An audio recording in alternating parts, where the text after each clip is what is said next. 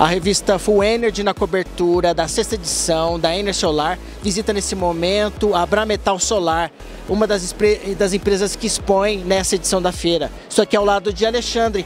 Alexandre, qual a expectativa da Brametal eh, nessa edição da Ener Solar?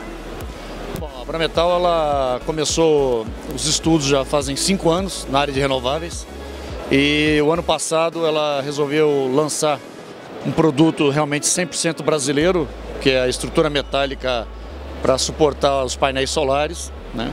E esse ano nós estamos com o sistema com tracker. Então nós temos o sistema fixo e o sistema o seguidor solar, que é o conhecido sistema tracker. A Brametal então investiu bastante em tecnologia, em estudo e uma parceria com uma grande empresa de engenharia e montagem que é a Araxá Solar.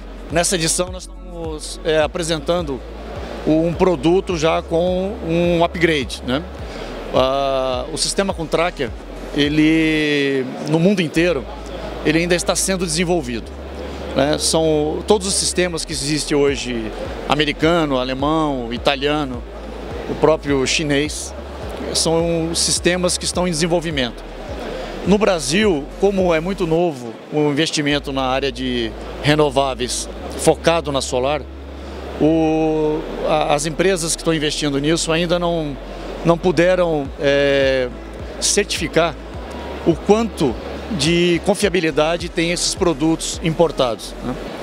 E é aí que entra o produto da Brametal. O produto da Brametal é um produto desenvolvido 100% com engenharia brasileira, um produto que todos os seus periféricos, acessórios são fabricados aqui no Brasil. É uma engenharia que pode dar suporte local, né? a comunicação facilita muito. Uma empresa que tem 42 anos de nome no mercado e é muito respeitada, esse nome é muito respeitado na área de energia, já na, na, nas linhas de transmissão.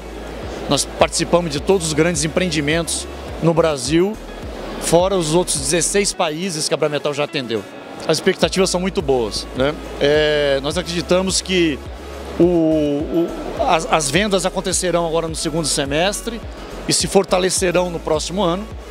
Né? E aí a, a Brametal poderá anunciar para o Brasil né, os grandes volumes que farão, como faz hoje na, no setor de transmissão de energia elétrica.